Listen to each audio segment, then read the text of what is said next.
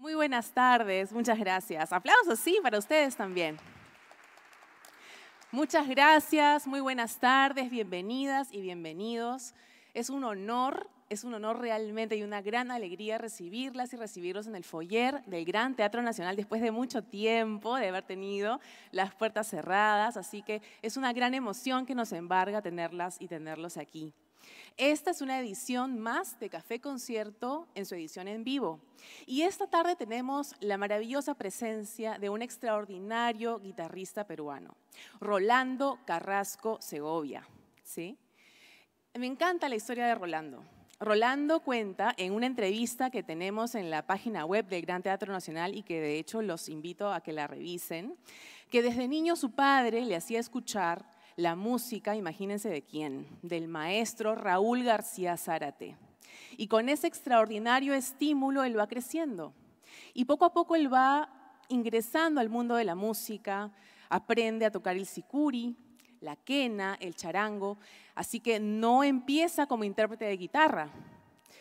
Es en el colegio que empieza a tocar ese instrumento como una gran estrategia de conquista. Ojalá que Rolando se anime a, contarnos si realmente logra o no logra a través de la guitarra y a través de la música conquistar a esa chica que le gustaba tanto. Y luego Rolando ingresa al universo de la música costeña y de la música andina. Así que imagínense tamaño artista que tenemos esta tarde. Hoy el Café Concierto los dejamos en una nueva edición en vivo con el maestro Rolando Carrasco Segovia.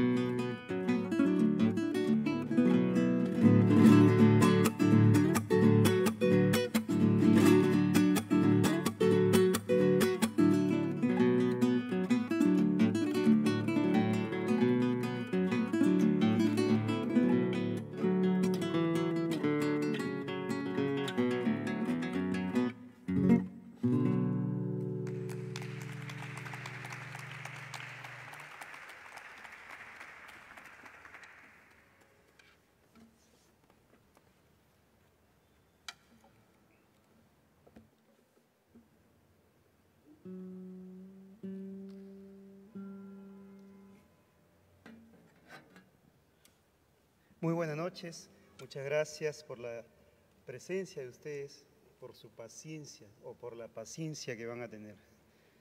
Eh, este fue el primer tema que le llamo eh, Guainos al Temple Arpa, porque está interpretado con justamente eso, el Temple Arpa, que se toca en el sur y también en el norte, que es llamado el Temple 1080, que es una afinación eh, que desde mi punto de vista viene desde la guitarra renacentista, esa guitarra que llega con los españoles, o en todo caso la vihuela. Y la siguiente música nace en un contexto clave para el siglo XX, que es el movimiento indigenista de inicios, vuelvo a decir, del siglo XX. Y como conocemos por historia, desde Clorinda Mato de Turner, González Prada con el Politeama, y después empieza Mariátegui, entra en escena Vallejo y con José María Arguedas, y en esa escena, en ese contexto y en esa construcción de lo indígena, desde la zona urbana, por supuesto, eh, en la música aparecen personajes inspirados en todo este contexto eh, artístico, literario y político también. Conocemos eh, la famosa obra Zarzuela, El Cóndor pasa, eh, que dura como media hora, que ustedes lo pueden encontrar hoy en día en YouTube, ya toda la obra puesta en escena, donde desde ya habla de los problemas de la mina, que el argumento trata, el guion trata de eso, de un problema minero en Cerro de Pasco pasado más de 100 años y casi nada ha cambiado, ¿no? por no decir eh, nada ha cambiado. Entonces, en ese contexto aparece una música donde las músicas empezaron a tener un apellido, que sería lo inca, el vals incaico, el fox incaico, todo era incaico, minuet incaico porque era la moda. Entonces las partituras de la época, eh, las revistas de la época lo mencionaban así, por esa moda artística, por esa moda, perdón, en la música, eh, de poner esos apellidos a los términos o a los géneros musicales.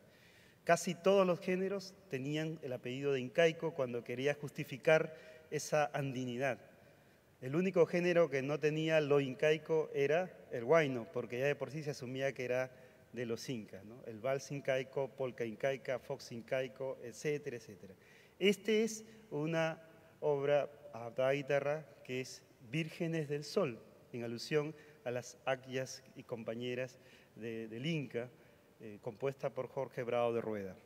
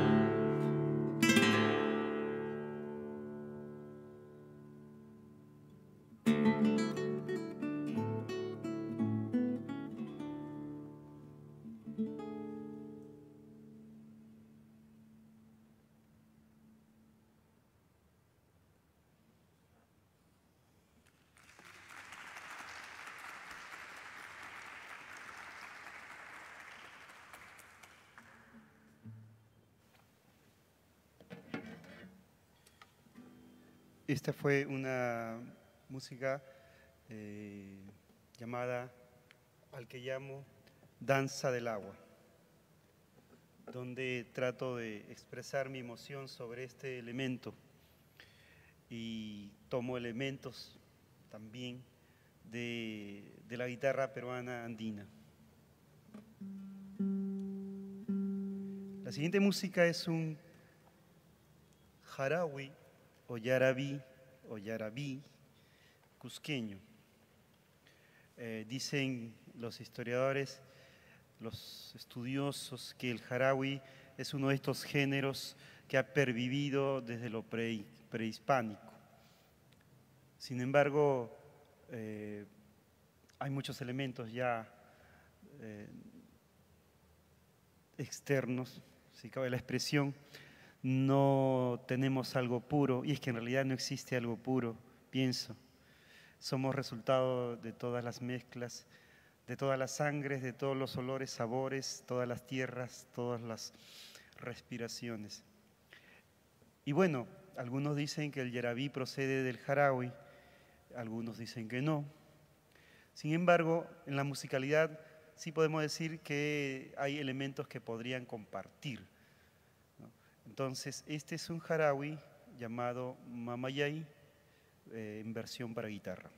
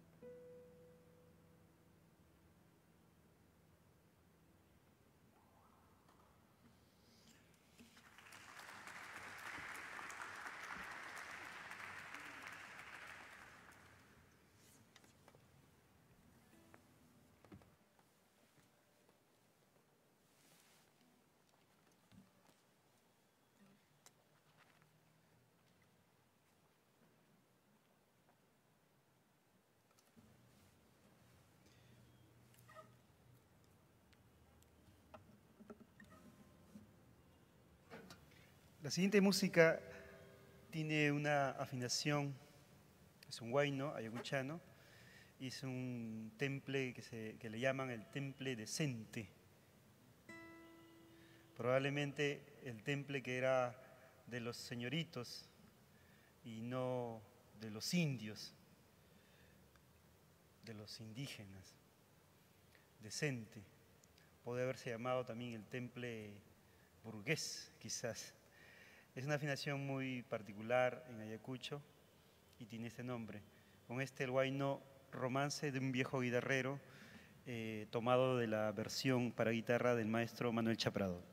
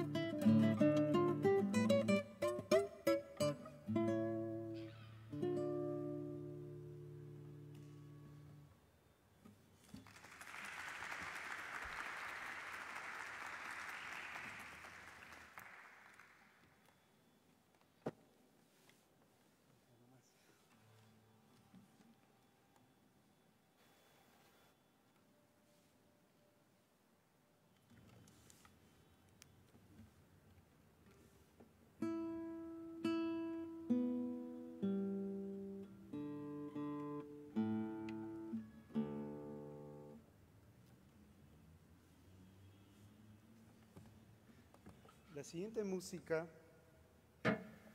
la siguiente música es viene de un anén, que es así como se les dice a las músicas en, en la cultura aguajún, y este es un anén de amor que es para cortejo.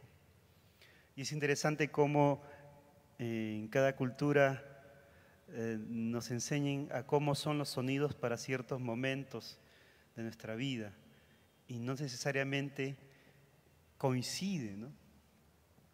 Alguna canción de amor en alguna cultura puede parecer de odio en otras.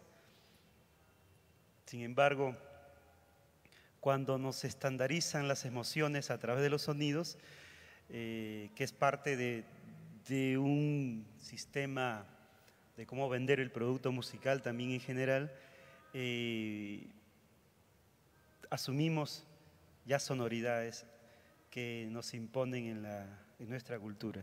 Este es un anén de amor y yo quiero pedir un favor grande si alguien me presta un lapicero, porque voy a tener que usar un lapicero.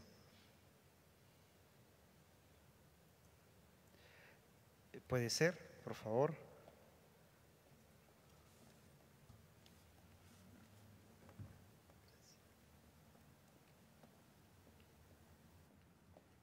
El instrumento, el instrumento con que se acompaña esta música es eh, muy similar a un berimbau brasilero, es un instrumento de la selva, eh, es un arco donde eh, el arco se golpea y da una nota según la tensión de ese metal, la tensión. Entonces, eh, la idea de, de golpear esa cuerda de metal es la que vamos a hacer en esta música.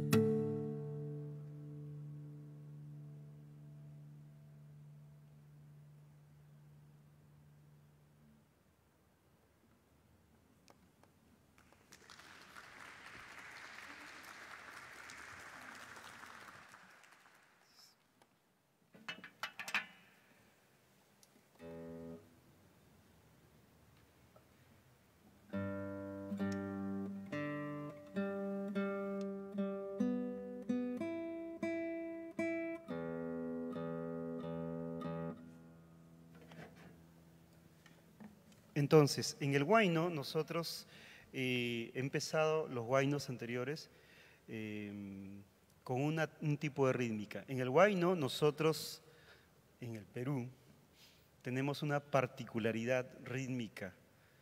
Em, vamos a explicarlo así, son tres golpes y los primeros guaynos que he tocado están divididos o distribuidos entre agudo y grave de la siguiente manera.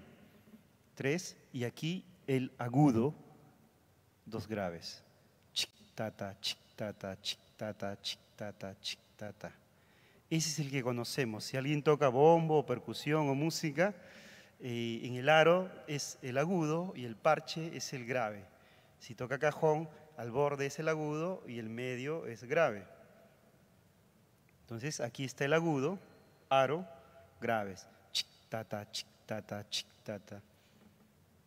Ahora el guayno que voy a tocar, que es un guayno de la selva, de la zona de San Martín, Chimaiche, es un chimaiche, tiene esta particularidad donde el agudo está aquí. Y es una característica de los guaynos en el norte, no lo ves en el sur. Ta, chita, ta, chita, ta, chita. Si, si le decimos ta, podemos decirle tum para que suene más grave. Tum, chitu, tum, chitu, tum, chitu, tum, Si alguien es de Ancas, se recordará mucho las roncadoras. Si alguien es de Santiago de Chuco, Guamachuco, también también el Amayeque, Cajamarca, ¿no? Entonces, este es el ritmo que voy a tocar ahora. El primero que toqué en los primeros guainos, en el guainos al temple arpa, era aquí el agudo, chic, ta, ta, chic, ta, ta. ahora es tum, tum, o ta, ta, ta, Atentos, voy a tomar examen.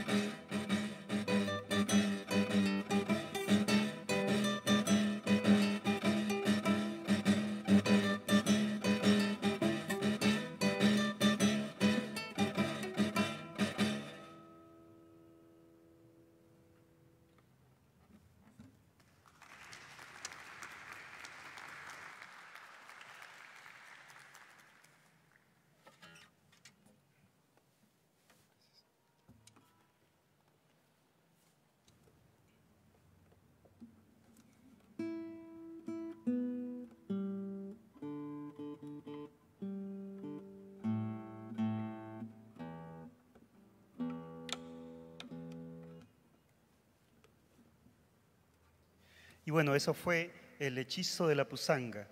Entonces, este brebaje donde para muchos eh, varones les cuesta o nos cuesta el cortejo, son estos, eh, estos, estas, aguas, brebajes, como decía, que dan una manito ¿no? para, para poder acercarnos a, la mujer que le gusta, que está enamorado, no sé. Para otros la pusanga podría ser una guitarra, como para mí, como cuando contaron al inicio que cuando estaba en el colegio, eh, para enamorar a una chica tuve que aprender a tocar guitarra. Y eso fue lo que hice, aprendí a tocar guitarra. Pero no la enamoré, pero aprendí a tocar guitarra. Entonces estaba bueno al final, ¿no? Y, esta es la pusanga en la versión eh, masculina de cómo hay estos, estas ayuditas, porque verdaderamente eh, para un varón es muy difícil y hasta traumante cuando somos adolescentes el mismo hecho de abordar a una dama para enamorarla. Porque como venimos de esta cultura tan machista de que es el que el varón que siempre tiene que eh, dar el primer paso. Hay las versiones que sería como el agua de calzón para las mujeres, que son las tradiciones de cómo en el mundo eh, estos elementos nos ayudan a dar pasos. Sinceramente puede que no sirva, científicamente hablando, pero al final eso no importa, ¿no? Lo que importa es que nos hace creer que podemos hacer algo. Y eso es en realidad lo que más importa, que si el agua o las aguas te surten afecto, ¿no? científicamente hablando. Esta era la pusanga. Ahora toco una música también de la zona que es el ushpagayo, una, eh, un changanacui.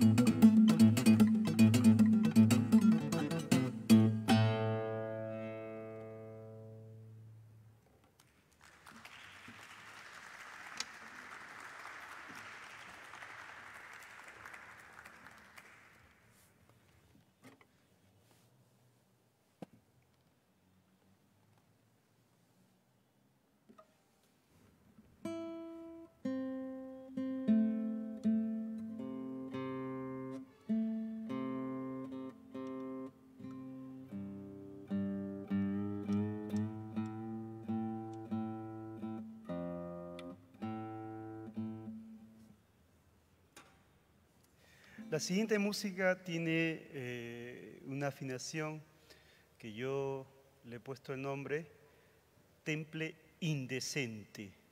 Como habíamos hablado al inicio, había un temple decente y este era para los señoritos, los burgueses.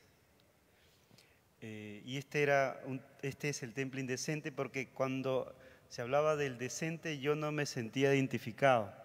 Entonces tendría que, tenía que diseñar un temple para mí y este es el indecente, que es para mí, para los indios, para los proletarios, para los obreros, para los trabajadores, metafóricamente hablando, ¿no? sobre la afinación.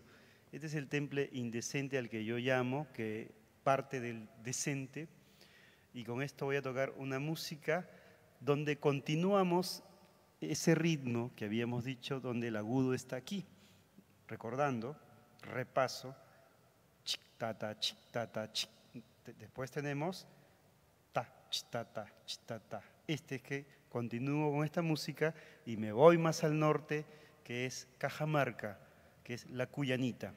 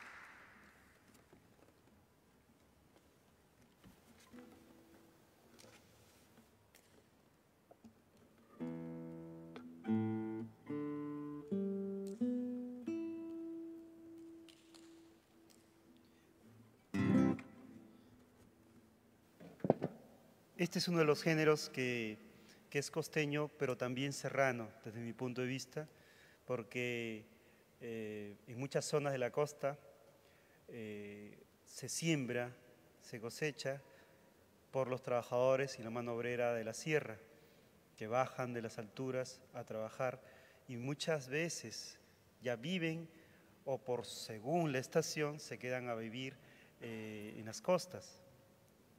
De esto hay muchos trabajos eh, antropológicos y también musicológicos y uno de los interesantes que escribe eh, José María Arguedas es sobre la fiesta del Señor de la Caña de Chiclín, a una hora de Trujillo, más al norte, si no me equivoco. Bueno, he estado a Chiclín, pero no me acuerdo del tiempo. Entonces, donde, donde por mucho tiempo del año tenían que bajar la gente de la sierra a trabajar eh, en la hacienda y eh, les costaba regresar y venir. Entonces mejor prefería quedarse medio año, a veces un año, a veces ya se quedaban. Sin embargo, para no sentir la tristeza de todo su pueblo, no sentirse en casa, replican las fiestas, replican las danzas en la fiesta misma que se da en el Señor de la Caña en esta zona. Y se genera un nuevo, una nueva tradicionalidad, nuevas tradiciones. Lo que pasa en Lima también con los clubes provinciales, departamentales, tanto en el sur, en el norte y en el centro. Entonces, eh, pasa esto en esta música que voy a tocar porque cuando vemos cómo se baila y cómo se viste, pienso que hay mucha serranía en esta música y que es el tondero. Triste con tondero, amor ladrón.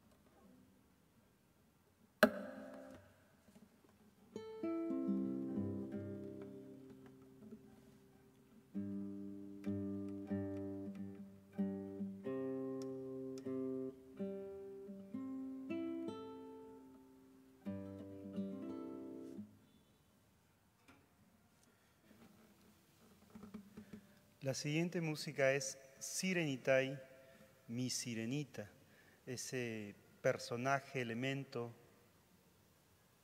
que encanta y que nos pone en trance para perdernos, ¿sabe dónde? En las cascadas, en las aguas. Bueno, de esto hay muchas historias en la selva, en la sierra y en la costa. No, en la costa contamos las historias de la sierra y de la selva. Y es un guayno lo he tomado de la zona de Canchis, eh, donde se trato de imitar a la bandurria.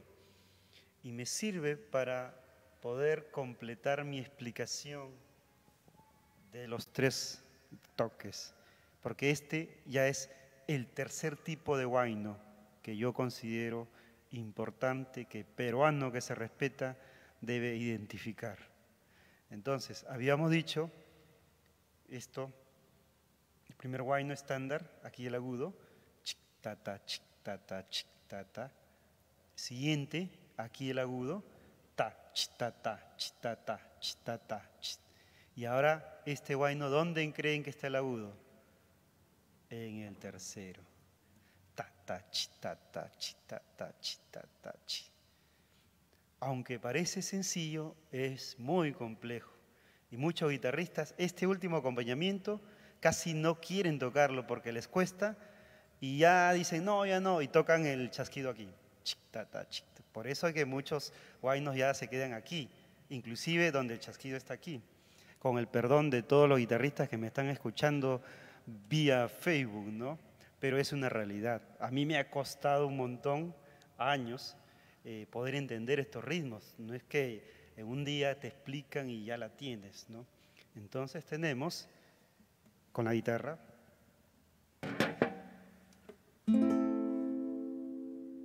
El uno.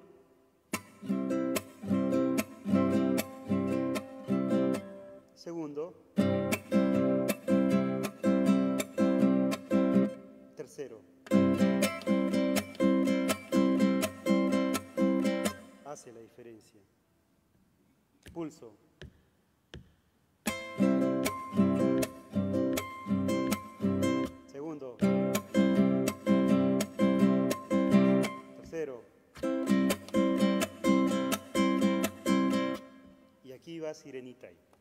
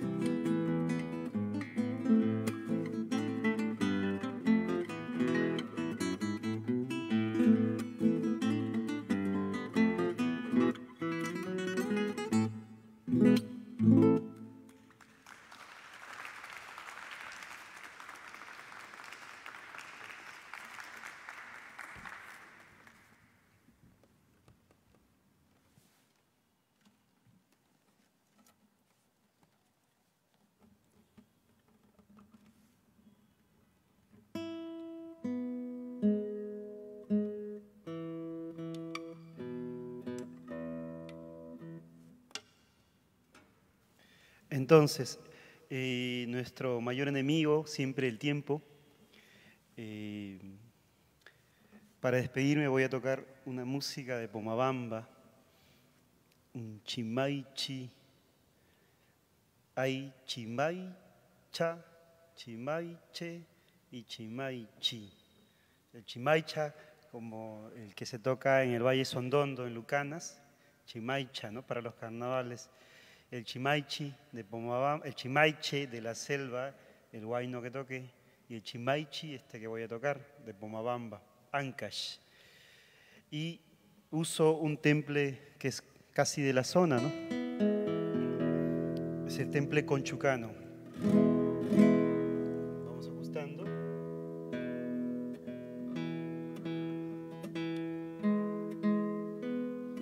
Y con este temple ya al aire, temple o afinación, al aire nos da un acorde.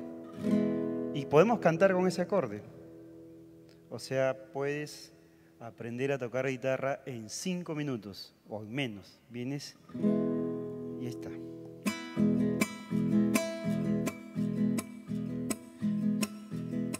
Yao, yao, poca pollera cha, yao, yao, poca pollera cha imataruanki sarai ukupi imataruanki sarai ukupi cinco por ocho cuarenta.